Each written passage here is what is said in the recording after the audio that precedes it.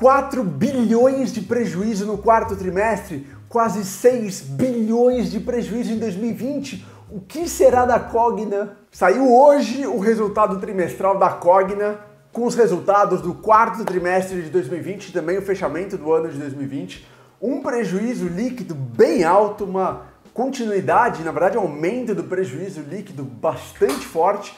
A própria Cogna tinha atrasado já a divulgação do seu relatório trimestral, o que despertou no mercado algumas preocupações, né? O que está acontecendo para a Cogna atrasar? Então, hoje nesse vídeo eu vou passar com você pelos principais pontos deste relatório trimestral e tentar entender qual que é o futuro para a Cogna. Se você está caindo agora, bem-vindo! Meu nome é Bernardo Pascovitch, sou fundador do Yub, que dá nome aqui ao canal, um buscador e comparador de investimentos totalmente gratuito e online para você encontrar os melhores investimentos. Tá chegando no vídeo? Já deixa seu like, se inscreve no canal, por favor, me dá um apoio, apoia todo mundo aqui no Yub, a gente agradece muito. Bom, vamos lá, é claro que a Cogna tem sido muito afetada por conta da pandemia, com mudanças nos hábitos escolares, cancelamento de matrículas, uh, né? Pessoas, alunos que não estão conseguindo pagar por conta do aumento do desemprego, da imprevisibilidade, tudo isso afeta muito a Cogna. A empresa está tentando e está em vias de mudar o seu produto, né? ou na verdade mudar todo o seu negócio,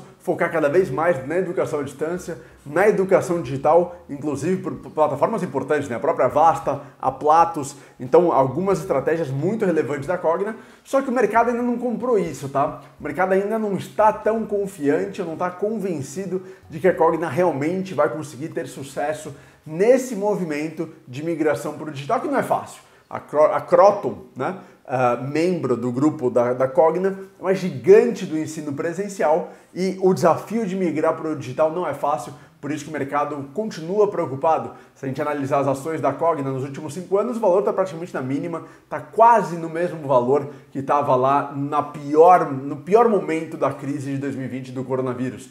Quando a ação chegou a bater R$ 3,70 e poucos centavos, agora está R$ 3,94 centavos. Então vamos lá, vamos tentar entender um pouquinho o que, que aconteceu, o que, que está acontecendo com Cogna.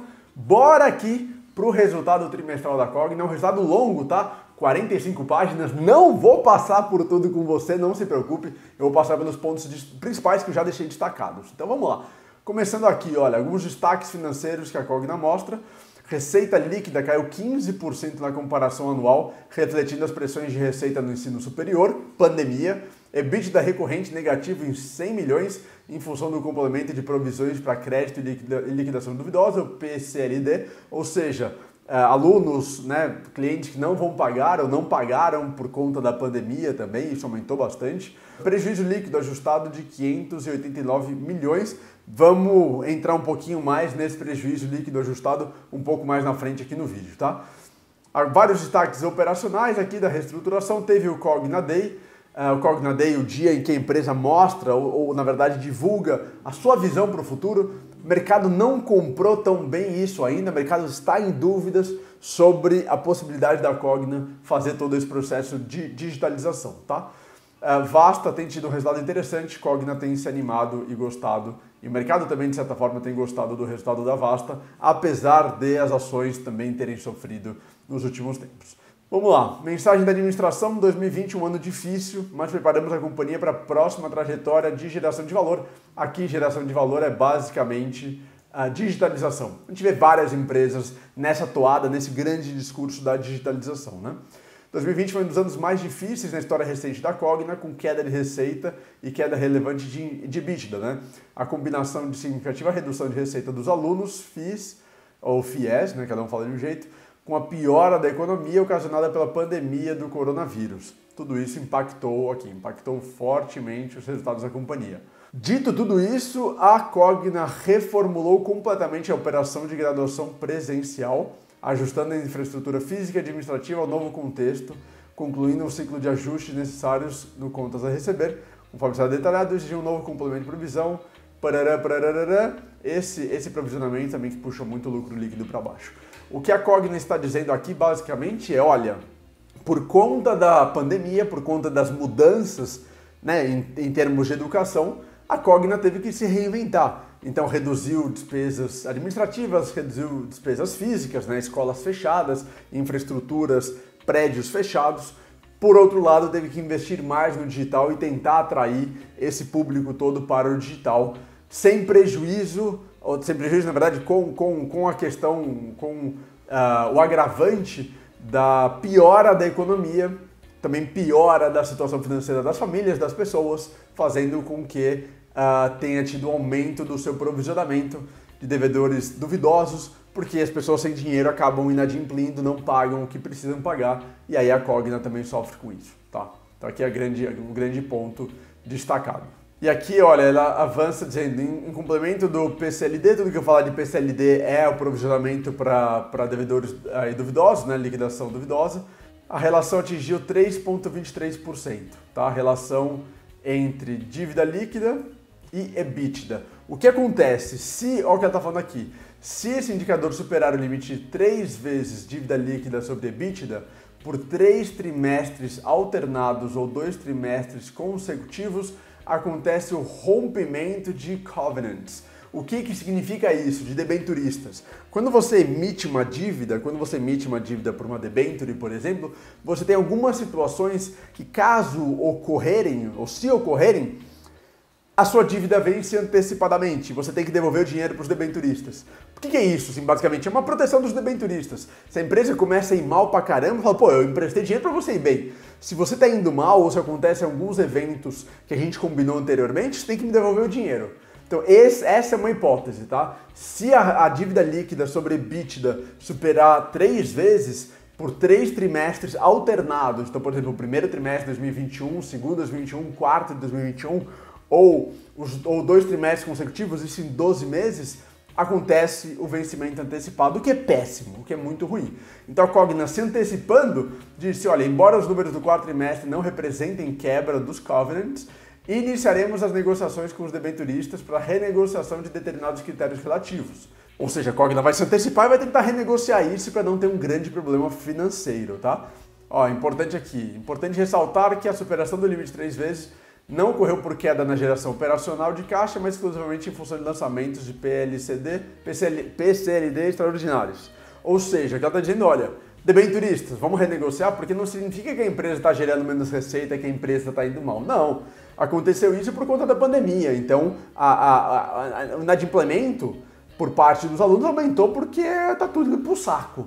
É basicamente isso que a companhia está falando, que faz sentido, tá? O que faz sentido é um ponto justo da Cogna, mas precisa ter essa renegociação aqui com os debenturistas para não ter um problema financeiro por parte da Cogna. Finalmente, destacamos que a Cogna mantém sólida posição de liquidez, com posição de 4,6 bilhões de caixa ao final de dezembro de 2020. Então, essa é, esse é um ponto importante para a gente acompanhar como que vai ser a relação da Cogna com os debenturistas nessa renegociação. Maior reestruturação da história da Cogna, tá? Nova realidade do ensino superior de crescente digitalização. Então é isso que a Cogna enfrenta de grande desafio para fazer essa digitalização muito grande por parte de um público que não está exatamente acostumado ou habituado à digitalização. É isso que o mercado enxerga como um ponto bastante sensível para que a Cogna migre totalmente para o modelo digital ou principalmente para o modelo digital, tá?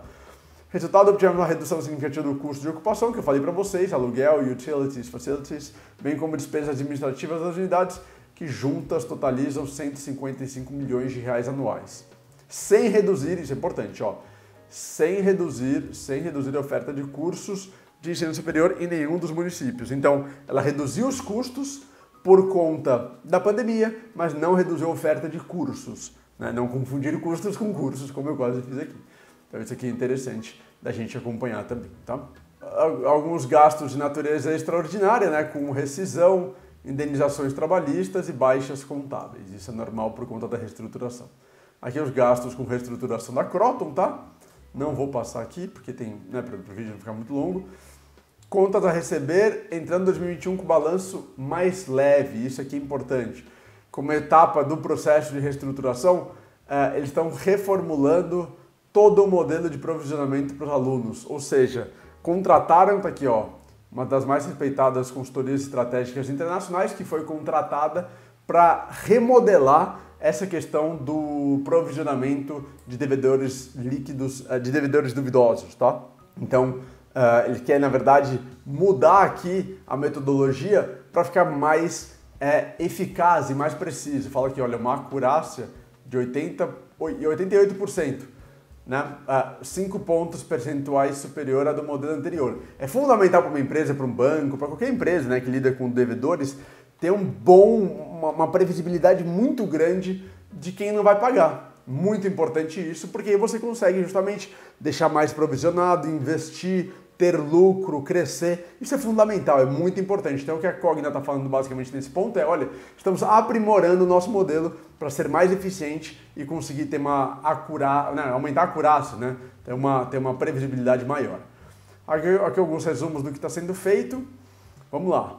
Descendo, olha, os ajustes foram feitos uh, e não tem, isso é interessante, que todos os ajustes no modelo de provisionamento foram feitos e não tem nada que indique a necessidade adicional de ajuste extraordinário. Ou seja, o que foi feito de ajuste foi feito. A princípio não tem nada que vai impactar negativamente a partir de agora, tá? Uh, Vasta, Vasta mostra aqui a questão da plataforma uh, plural, tá? Que é o alicerce essencial e transformador para que escolas mantenham as suas atividades econômicas durante acadêmicas, durante a pandemia e a Vasta registrou um dos maiores taxas de renovação de contratos já registrados. Então a Vasta, um braço importante aqui para a digitalização e para a manutenção das atividades durante a pandemia, e o Plural mostrou-se um produto não, não essencial só para renovação, tá? mas também para conquista de novos clientes. Isso é interessante. Então, Plural sendo uma plataforma importante nesse sentido. Aqui alguns resultados da Vasta. A segunda onda da pandemia está impactando também o processo de matrículas em escolas parceiras. Isso é interessante. O que a Cogna fala aqui? Olha, no ano passado, em 2020, uh, ah, quando veio a pandemia em março, todas as matrículas praticamente já estavam feitas, já estavam fechadas, né? porque em março todo mundo já fechou as matrículas do ano. Agora, algumas foram canceladas, ok, mas agora em 2021 ah, a pandemia ainda está rolando, está acontecendo no momento das matrículas, o que afeta talvez mais do que 2020. Essa é alguma da preocupação aqui da, da Cogna. Olha, fala, olha, essa situação tende a ter um efeito, efeito maior do que o verificado em 2020, quando a pandemia chegou com o processo de matrícula encerrado e as crianças já se encontravam em sala de aula. Então, para a gente ficar atento também como que a Cogna vai, quais, quais vão ser os impactos na Cogna de forma geral, no consolidado, em razão das matrículas de 2021, tá? Uh, isso é interessante, a Cogna está focada, né, então aqui, a Cogna está focada em aumentar a rentabilidade de forma consistente, priorizando modelos de negócio asset light, ou seja, poucos custos ou custos mais baixos, com maior potencial de crescimento e maior retorno. Então essa é a grande visão da Cogna. Ela entende o que é saudável, o que é importante, a Cogna entende que precisa aumentar sua rentabilidade precisa aumentar uh, a sua lucratividade, reduzir custos, se tornar mais eficiente, o que é um bom, um bom direcional. Tá? Aqui a gente vai então para o resultado das unidades de negócio. Eu não vou passar por cada unidade de negócio porque tem, teria muita coisa, muitos dados. Tá? A gente vai ver mais os resultados consolidados. Então vamos lá. Fala aqui da, da, da Cogna, né? da Croton, desculpa. E aqui fala algumas coisas que afetaram a receita Receita líquida que caiu em redução da base de alunos do ensino presencial e maior incidência de descontos por conta da pandemia.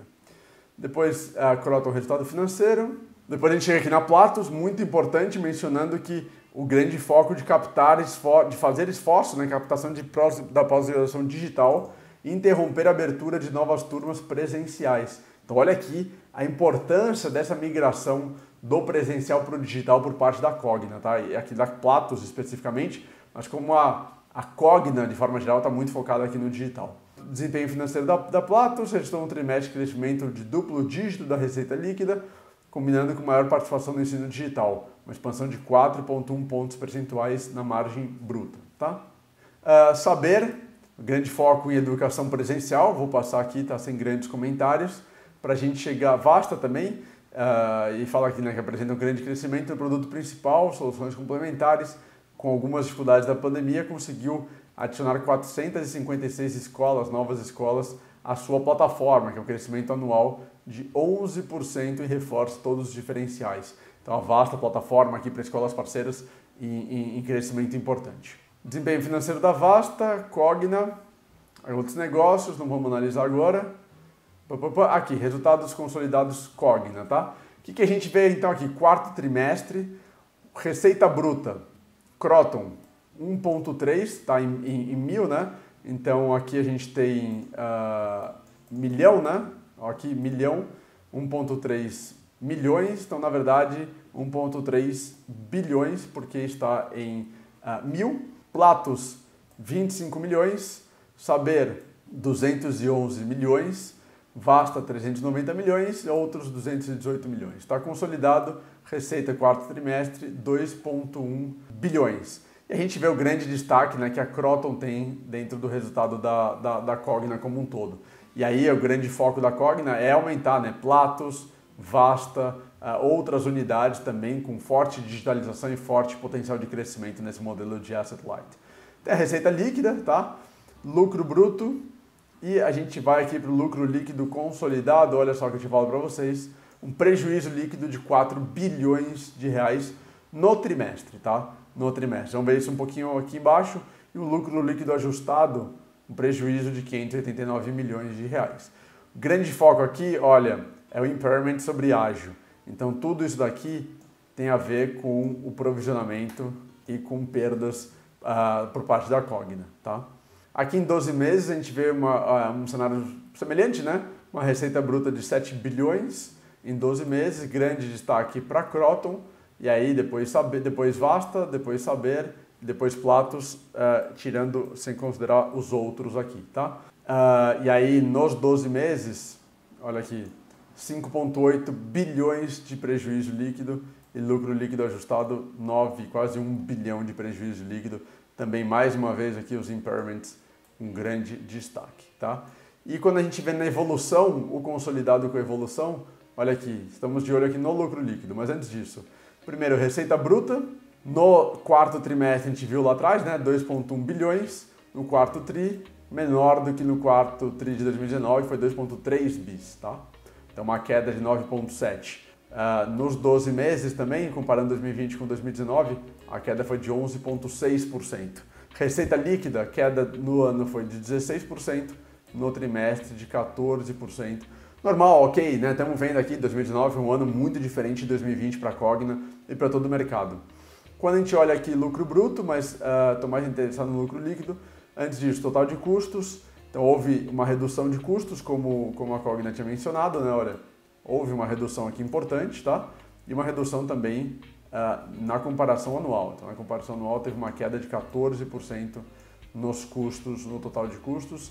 E quando a gente vem aqui para lucro líquido, olha só, uh, no trimestre, 4 bilhões de prejuízo líquido, sendo que um ano atrás, né, no trimestre anterior, o, o prejuízo tinha sido só de 168 milhões.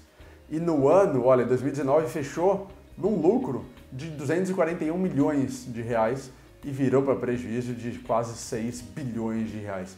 Então aqui é que está a grande atenção e isso acabou chamando um pouco de atenção no dia de hoje. Até por isso que houve a demora aí na divulgação do relatório, por conta desses números uh, de alguma forma preocupantes, tá?